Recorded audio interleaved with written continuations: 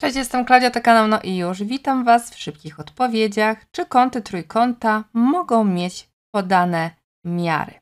No tutaj mamy same stopnie, więc my wiemy, a przynajmniej mam taką nadzieję, że wiecie, że suma miar kątów w trójkącie wynosi 180 stopni. Czyli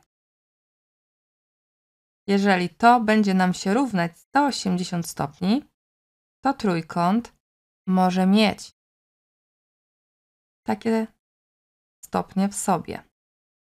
I dodajemy, wychodzi nam tutaj 190 stopni. 190 stopni nie równa nam się sumie miar kątów w trójkącie, czyli tych, tym 180 stopniom, więc nie może trójkąt mieć takich miar. Bierzemy B. I teraz tutaj mamy 1,5 stopnia dodać 0,5 stopnia, no i te 178 stopni. To z tym łącznie daje nam 2 stopnie, czyli tutaj mamy 180 stopni. Równa się to sumie miar kącie w trójkącie, czyli tutaj może tyle być. To tutaj zapiszemy sobie nie, a tutaj zapiszemy sobie tak. Jeżeli chodzi o podpunkt C, jest tutaj kapkę trudniej, bo mamy tutaj minuty kątowe. No i musimy sobie tutaj przypomnieć, że jeden stopień ma w sobie 60 minut kątowych.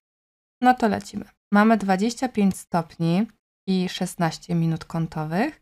Mamy tutaj 50 stopni oraz 104 stopnie i 44 minuty kątowe. Jak my to teraz robimy? Otóż stopnie liczymy ze stopniami i otrzymujemy tutaj 179 stopni.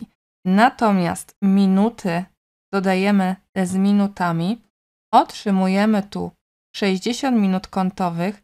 My wiemy, że 60 minut kątowych to jest 1 stopień, czyli my tu mamy 179 stopni dodać 1 stopień, a to będzie 180 stopni.